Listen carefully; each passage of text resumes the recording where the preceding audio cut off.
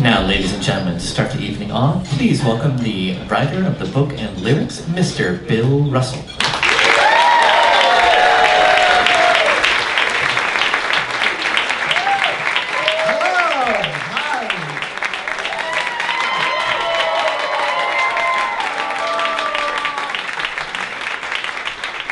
Thank you so much and welcome. We are so happy you're here for this concert version of Elegies for Angels, Punks, and Raging Queens.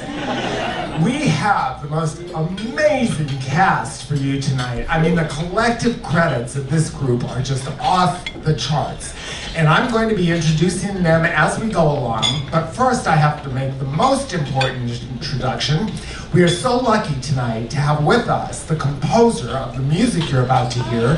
She's also serving as our musical director and playing the piano. Give it up for Janet Hood!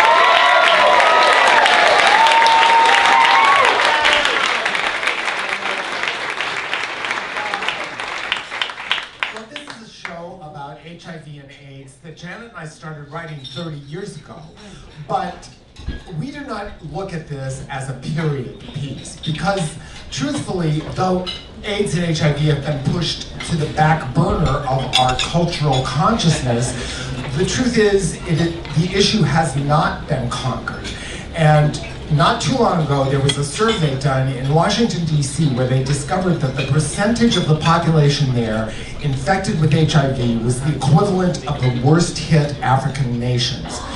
And the infection rate in this country has uh, stayed relatively consistent since the mid 80s, though it's moved into different populations. So this is not a period piece, and we're always happy when it gets done, especially to um, tell young people about this history, this amazing history of this era. They are sadly uninformed about that, and many of them don't even know how you can contract HIV. So for all of those reasons, we feel this is a piece that deserves to continue to be done, and I'm happy to say it is. In 1987, AIDS was um, encroaching closer and closer into my circle of friends, and never have I felt the need to write about something like I did about this at that moment. And in October of that year, my husband, Bruce Bossard, who is here tonight, uh, as is Janet's partner Mary Morrison, they have both through all of this with us. Well, in 87, Bruce and I were at the initial unveiling of the Names Project quilt on the Washington Mall. And I had been writing a kind of free verse for years and was interested in doing a larger project in that form. And also, I was very familiar with Edgar Lee Masters' Spoon River Anthology which is a collection of short free verse epitaphs published in 1915. And they're all uh, in the voices of characters who have died and are in this cemetery in this fictional town in Illinois. And I had the idea of writing a Spoon River of AIDS, but with the quilt being the metaphor. And if you don't know the names Project Quilt, please Google it because it's an incredible piece of community art. Um, so I started writing these monologues in the voices of people I knew who were sick or um, had died, and, or even people who weren't sick, but all of us at that point felt we could be. And after I had a handful of them, I called Janet and I said, um, would you be interested in writing some songs to go with these because I think there are some theatrical possibilities here. And uh, she said yes immediately. And that was inspired also, Spoon River was um, adapted for the stage in the 50s, and they incorporated classic American folk songs, but I thought we could write an original score. So when we had a dozen monologues and a handful of songs, I put together a reading in New York with four male actors and a female singer, because at that point all the characters were male. And um, that was very well received. And one of the actors in it, oh, it was also the model for Spoon River was always a small cast with the actors playing multiple roles. Well, one of the actors in the reading, Justin Ross, who is here tonight, uh, took, yes, took the, um, to Kevin Maloney, who is still the artistic director of a downtown theater company called Tweed, the wildest entertainments ever devised. And they were doing a spring festival in New Works, and they said, look, we would love to do elegies, but we owe a lot of actors favors. So would you consider casting one person in each role? And I was like, oh my God, yeah organizing five actors for a reading leaves me just tearing my hair out, so I couldn't possibly do that. But, because uh, this would be 30 to 35. And, um, but they just kept at me, and one night I woke up and I thought, well, how many times am I going to get to work with a cast this size? And uh, I felt like I had jumped off a cliff, but we dived in, and it turned out to be the most extraordinary experience. This was 1989 in Soho and it was the white hot center of the war on AIDS. And almost everyone in the cast had a uh, personal connection to the subject matter. The few who didn't soon did because we had actors hospitalized during rehearsals. Mark Fotopoulos, a Broadway gypsy, had car, uh, sarcoma lesions all over his body. Uh, and it just turned into this incredibly intense and oddly enough for something that came from such sadness, joyous experience, which putting this together has always proven to be. So, our first section is going to start with Emma Hunton, followed by me doing the opening monologue. Then we have a monologue featuring Justin Collette, a quartet comprised of sideshow alumni from the recent revival. They are Brandon Andrews, Claire Ross, Lauren Elder, and Javier Ignacio.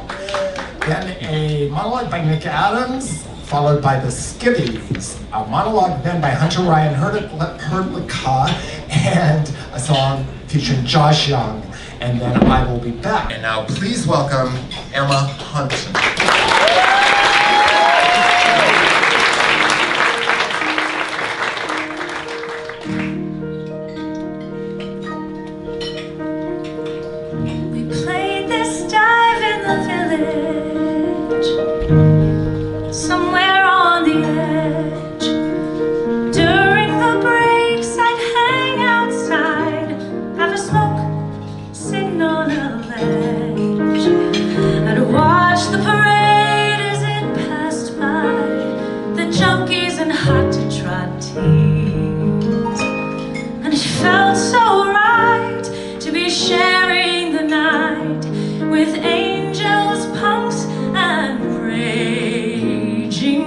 you.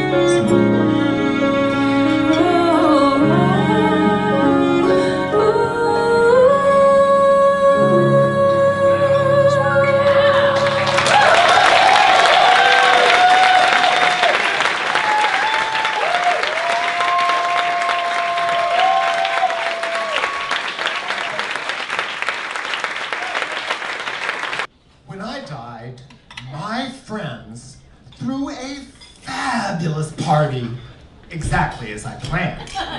With a chunk of my estate in hand, they rented my favorite restaurant, drank champagne and margaritas, laughed at memories as tears and beers were spilt, unveiled my panel for the quilt, and then went dancing and tossed my ashes like confetti on that ballroom floor where we had played and played before.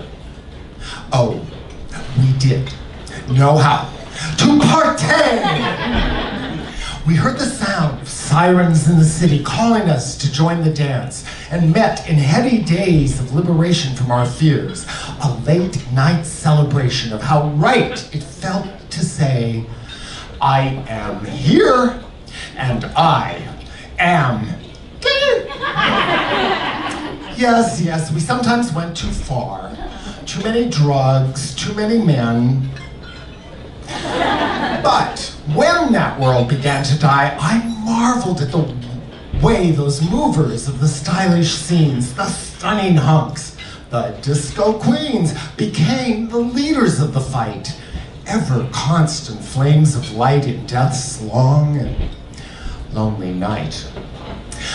The focus of my younger days was largely split between dad's body shop and sewing on mom's old machine.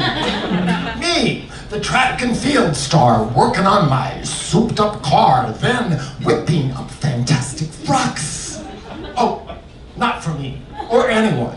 I always kept them under locks, but later on, those skills of sewing and design led to a modicum of fame, and many women wore my name.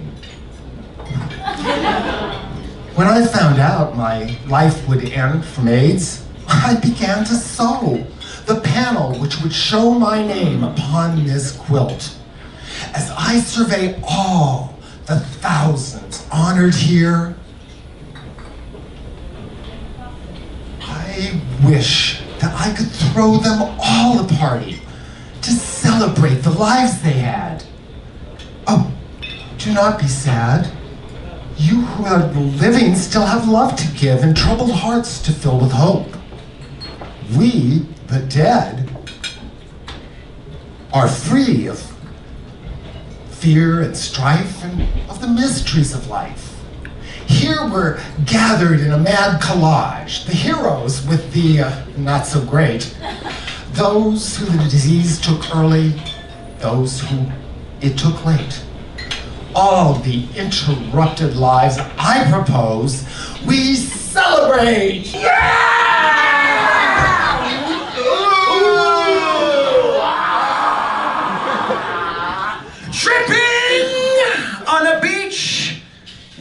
Provincetown.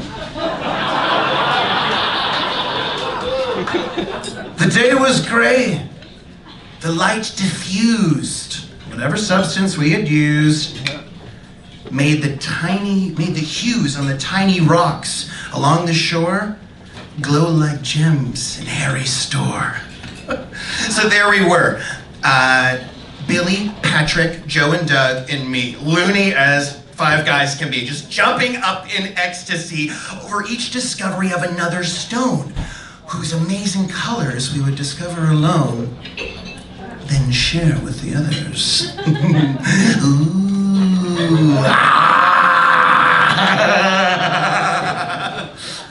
Someone then had a revelation that the unique configuration of each design was made more remarkable when the stone was wet. so we put it in our mouths. Mm. This sufficed more easily than crossing over to the sea. You're loony as can be. Demosthenes! I yelled. Demosthenes! Take those marbles out of your mouth and eat your dinner. we screamed and carried on. Oh, how we laugh at times like those. Sad we were when those times came to close. Uh, first, Joe got sick. We mourned him so. Then the rest began to go. The grief subsiding not one bit before another friend was hit. Uh, when I succumbed, I fought the darkness which numbed my mind by focusing on when we shined that day on the beach. And my last request to Doug, besides a healthy hug,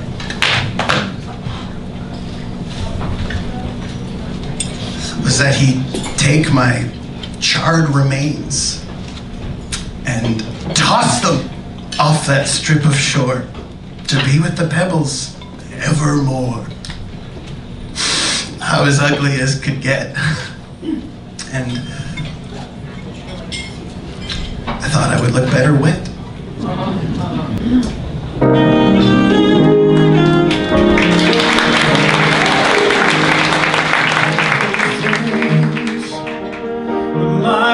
One big party, floating on balloons of fantasy. When I'd feel so high, I could fly right through the blue. Your standard reply to my well-rehearsed cue was I'm holding on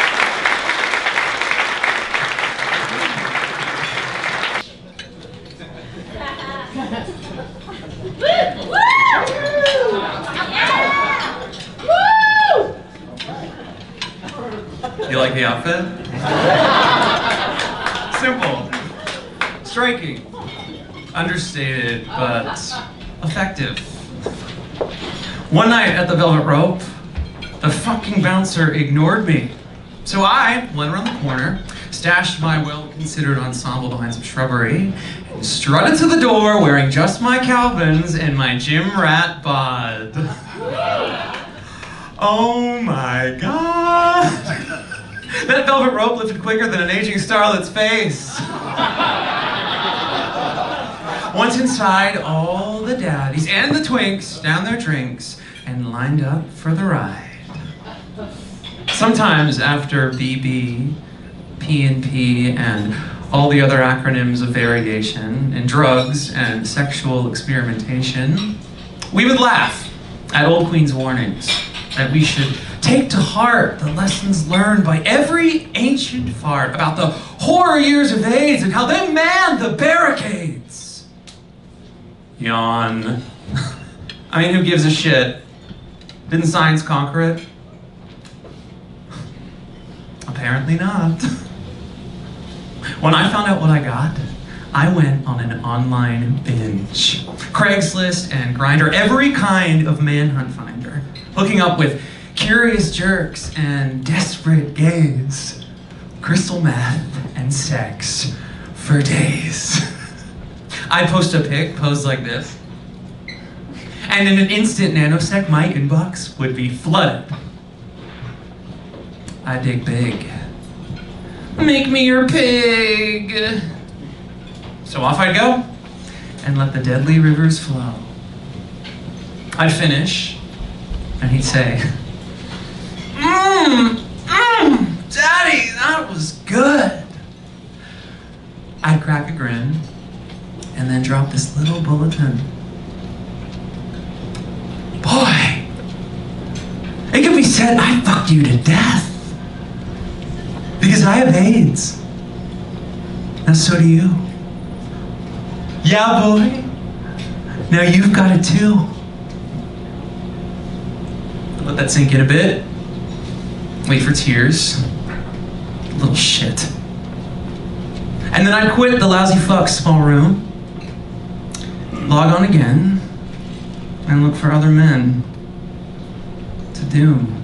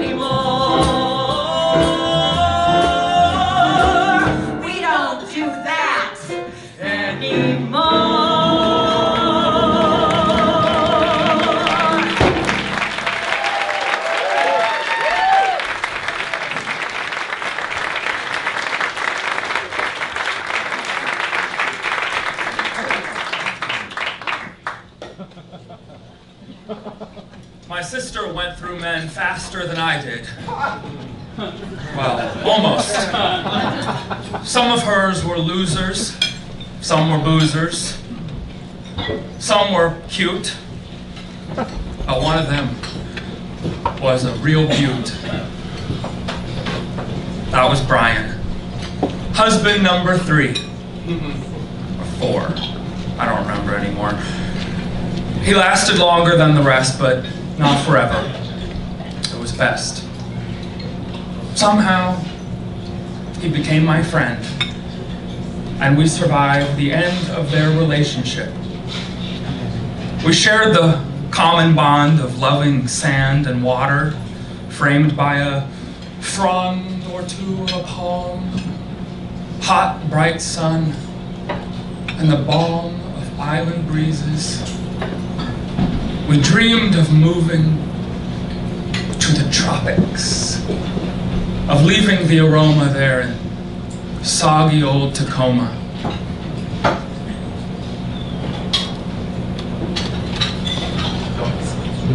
Now don't misconstrue. He was hetero through and through, but we could do most anything together and have a real good time. Uh, baseball. Okay, I'm hit it. I'm hit it. Oh, the bat. Like.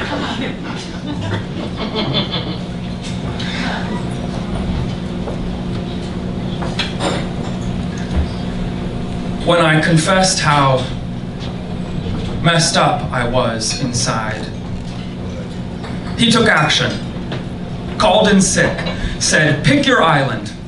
Flew us to a beach like that where we just sat and watched the tide come in and out. Discuss what life was all about. And after we returned home, he discovered all sorts of ways to help. How to change my soaking sheets without disturbing all the tubes. How to give the medications. How to fight dull administrations of hospitals and agencies, and when to bark and when to bite.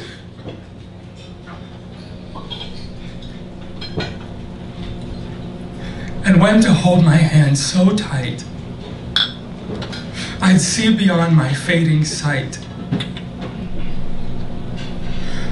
Of all the friends I had, Brian was the straightest.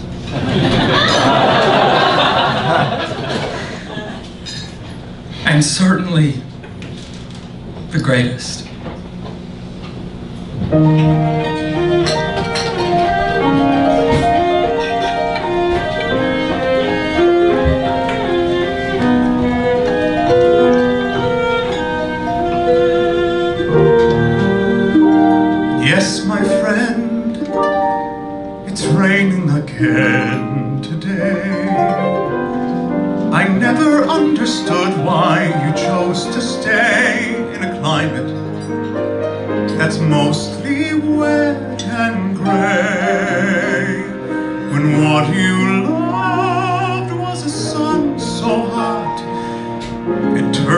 green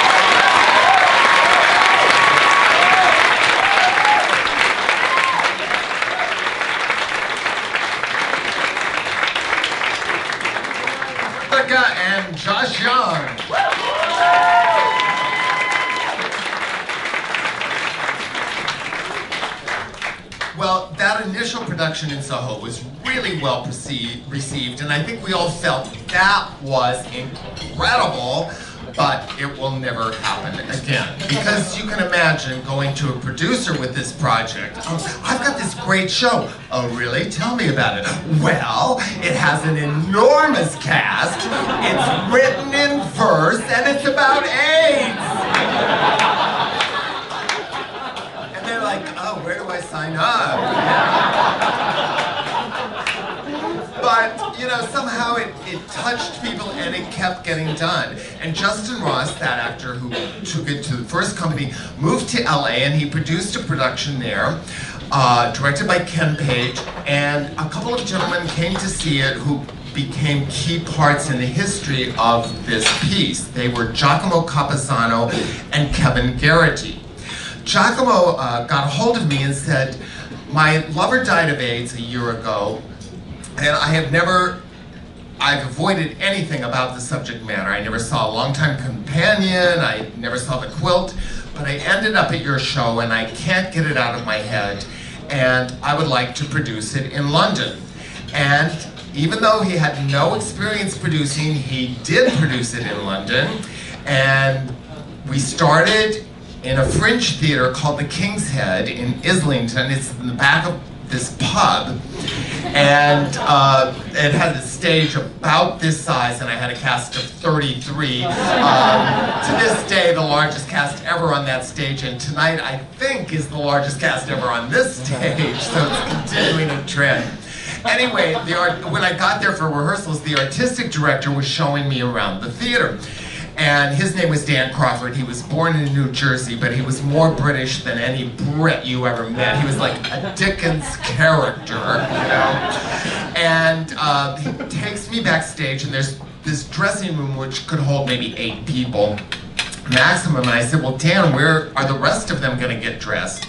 And he took me upstairs to the offices and he said, oh, they can all get dressed up here. And I said, great, there's a lot of space.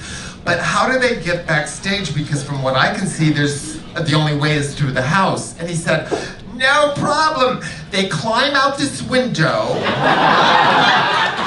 go across the roof, and then climb down a ladder, and they're backstage. And I said, Dan, it's November. What if it rains? And he went, and I said, uh, okay, well, but will you tell the cast this? Because if this were America, they wouldn't bother to report me to the union. They would just have me killed. And he said, oh no, it won't be any problem. They won't mind. And sure enough, they were getting paid subway fare. It was an incredible group of actors, many of whom went on to great, great stuff, including Brendan Coyle, who played Mr. Bates on Downton Abbey. And um, the show was really, really well received and extended at the King's Head. And then Giacomo moved it to the Drill Hall, which was the gay theater in London at the time. And then Kevin and Giacomo moved it to the Criterion Theater in the West End. Now, until that point, we had always just done it with piano, usually with Janet playing, because she can make it sound like an orchestra. But, uh, but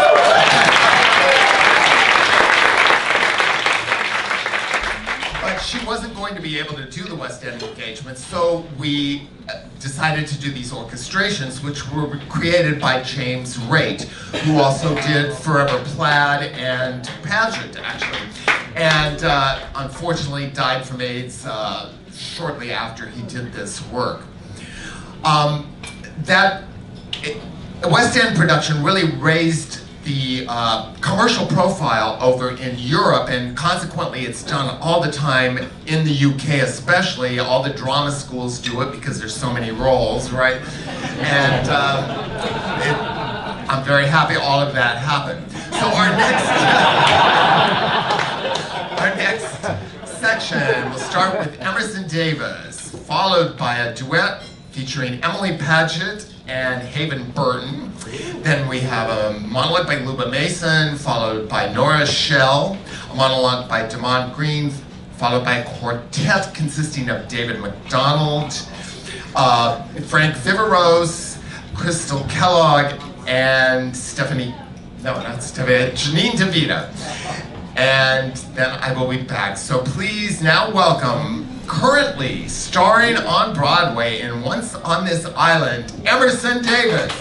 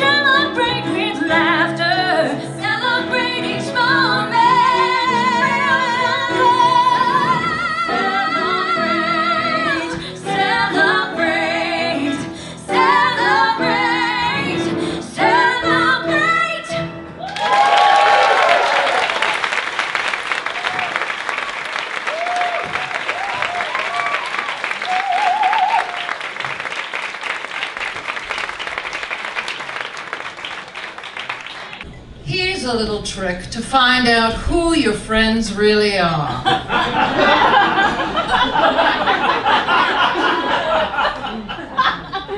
Contract a terminal illness and then tell everyone that you have it.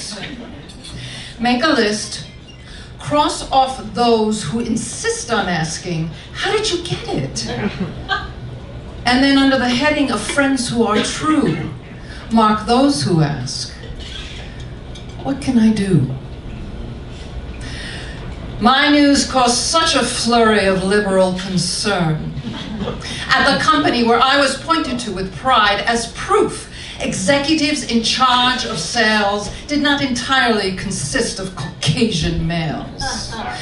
Oh, the rallying round of well intentioned types who really show their stripes by asking the wrong questions. And those that did were banished from the realm.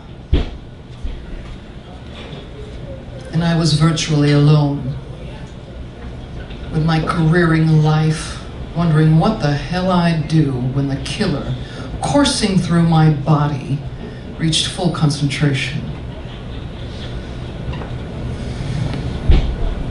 Then my secretary.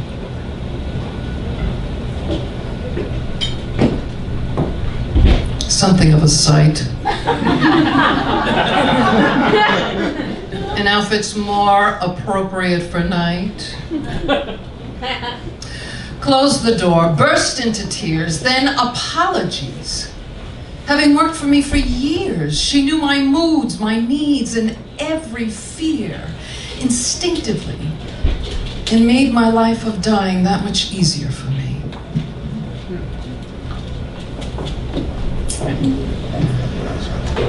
Oh, she was there. Showed her genuine concern and care by reading to me when I became too ill to do so on my own.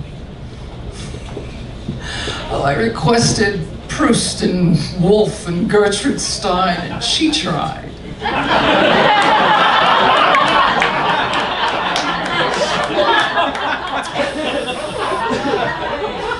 She could not get through two sentences of those. But as an alternative, she chose books that she had read her own children.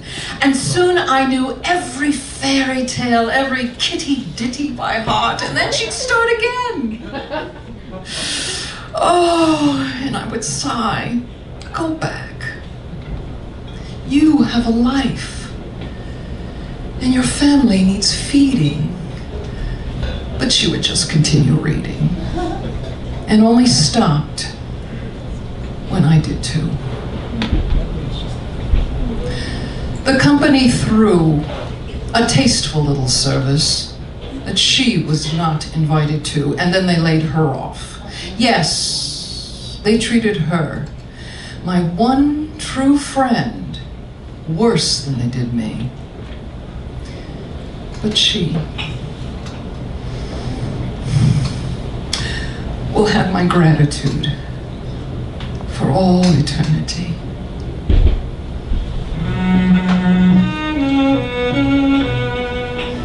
All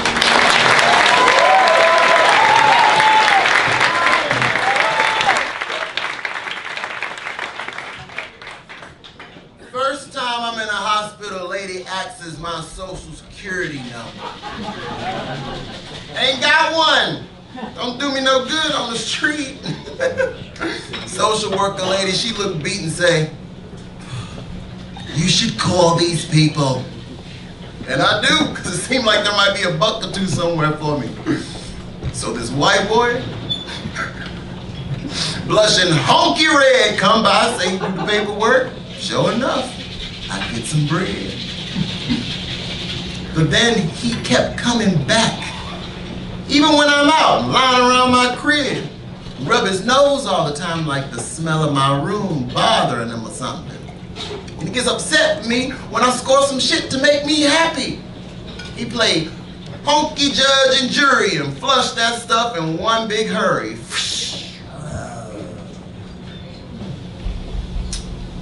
When I get bad, he take me emergency at Bellevue, crazies and cuffs, kids bleeding and stuff, and I want some smoke.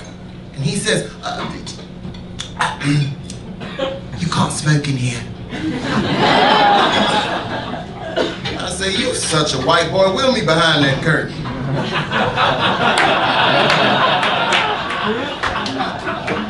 So he do, and I gets my smoke. One time, I say, Sonny, I'm gonna steal money from the nurses' purses cause I'm hip to where they kept. And he get pissed off and say, oh, oh, oh. You do that, and those nurses will fuck you over like you've never been fucked over before.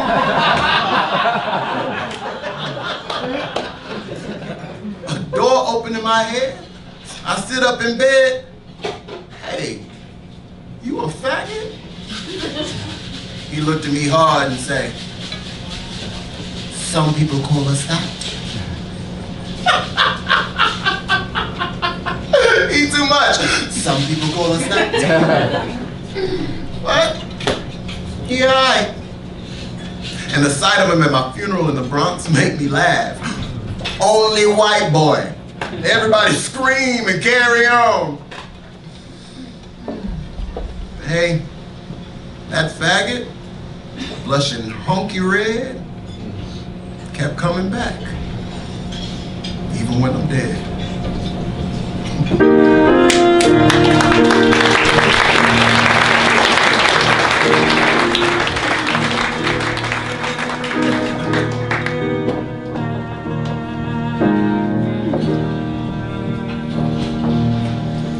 In the canyons of death, friends lie in a daze, silently fighting their way through the haze. Many unconscious to all sight and sound, though they lie there unmoving, they are heroes all around.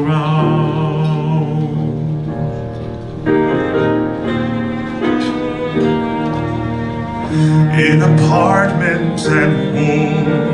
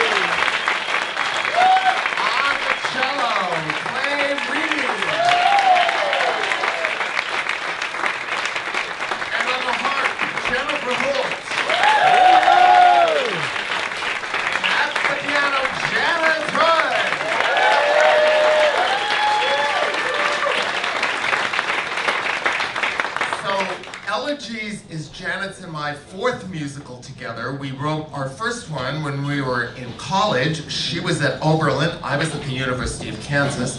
And I am very happy to announce tonight that our fifth musical, which is called Unexpected Joy, is going to start performances in April at the York Theater.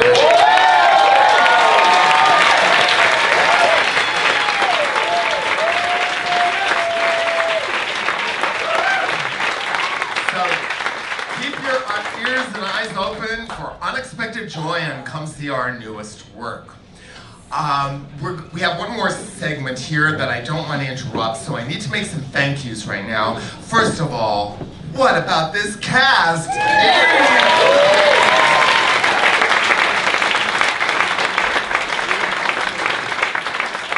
And a cast like this does not just magically come together, let me tell you. I am so, so grateful to the, our brilliant casting director, Stephen DeAngelis.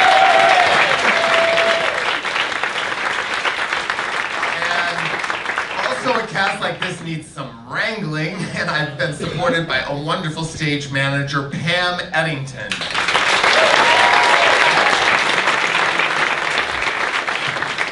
Thank you to Justin Ross for his help with some of our musical staging, and thank you to everyone here at 54 Below. Love, I love working here.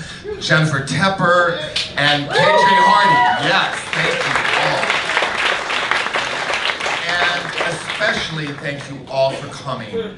And if tonight should inspire you in any way to want to contribute time or money, there is no better organization than Broadway Cares Equity Fights AIDS.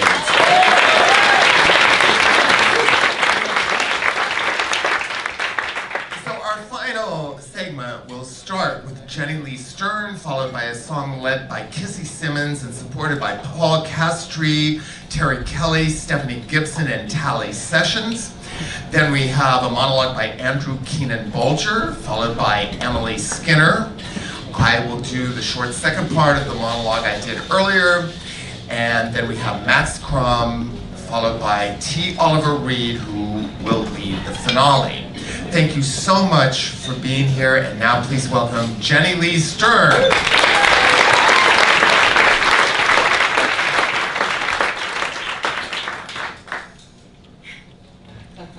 If you should get the diagnosis and find your T cell count is dropping, I would offer this prognosis. It's time to do some heavy shopping! Go ahead, buy like mad. Everything you wish you had. Take your plastic and go crazy! Final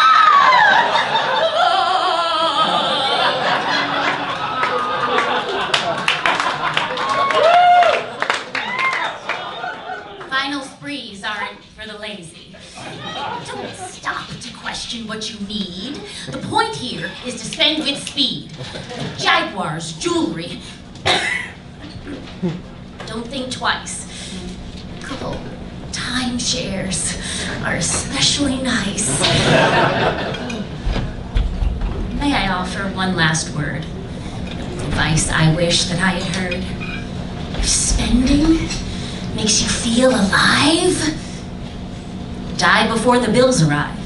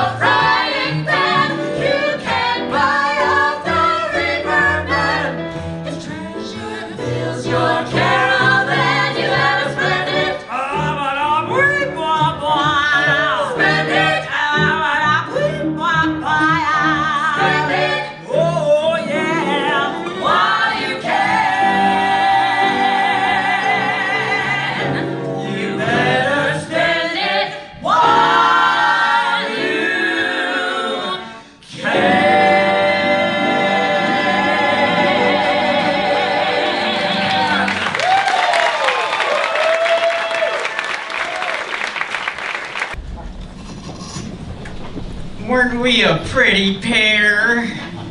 You bedridden and incontinent, and me covered in lesions trying to take care of you at home. Our family is wonderful. My sister Judith, the hotshot lawyer from the East, drew up our wills airtight so that our dying wish could never be denied and we would spend eternity sleeping side by side. And at your bed, your parents said, You are an angel to our son. The two of you behave as one. Our family plot has room for you. When it is time, you'll be there too. They stood beside me at your grave, and trying to be brave as you were lowered in the ground. what a lonely, shocking sound.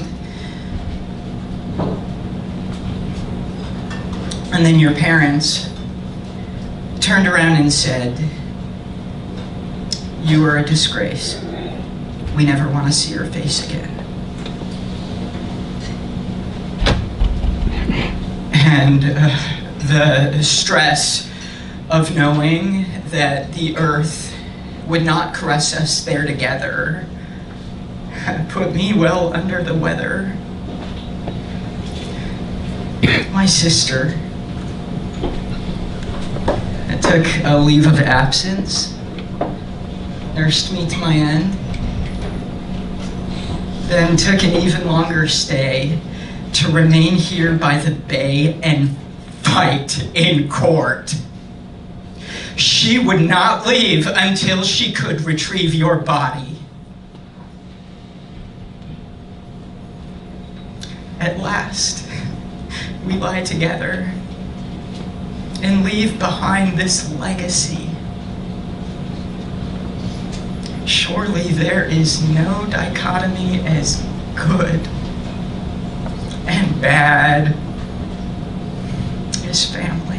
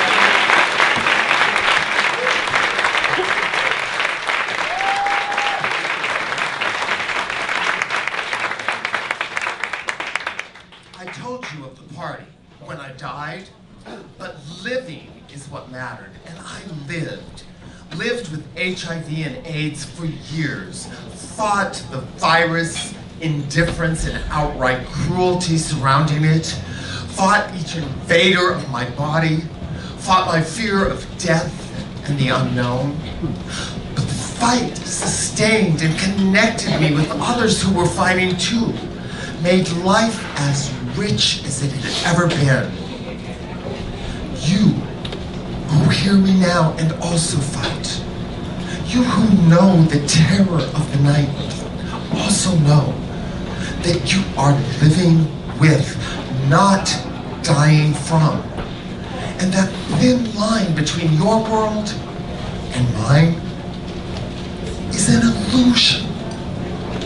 For on either side of that divide, the truth is we are going on. My friends, time will have its way, and all of us must leave. But not before one final tale one story more of lessons difficult to know. Not giving up, but letting go. I fought the end with all my strength, you know, determined to extend the length of this. My time. I struggled so to catch each breath, but I would not be caught by death. Douglas!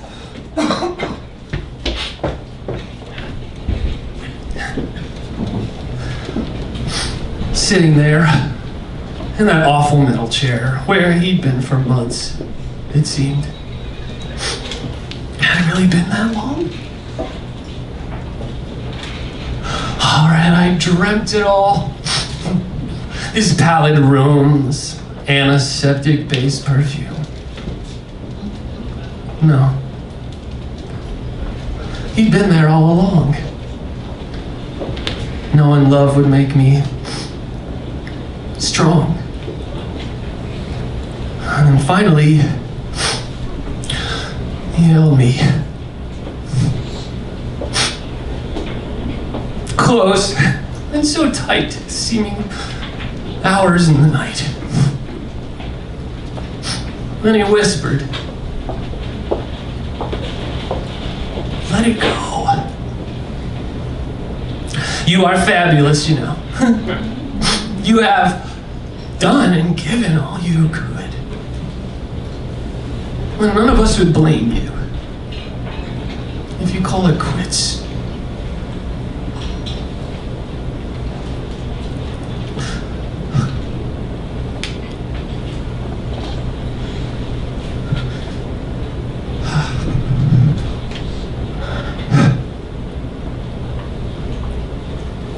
This is what true love permits.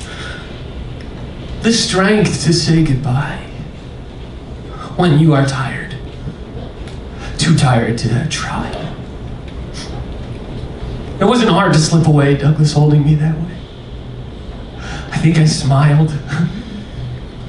On the inside. Knowing love had never died.